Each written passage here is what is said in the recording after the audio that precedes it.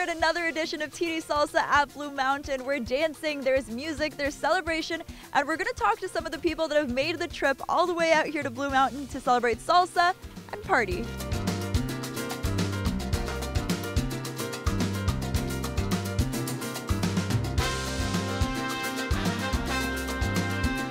Because like all these people, it's so excitement here. Like I didn't expect that. It's fun. I like it. So I like music, and there's a lot of people who like it too. So it's like energy is here, the rhythm, you know, the music, the energy.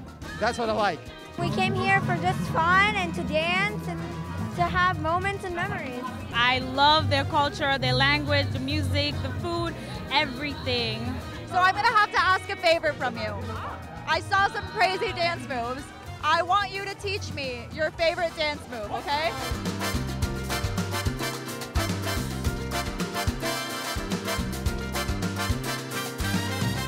Oh my God, you need to get on the salsa train, like ASAP.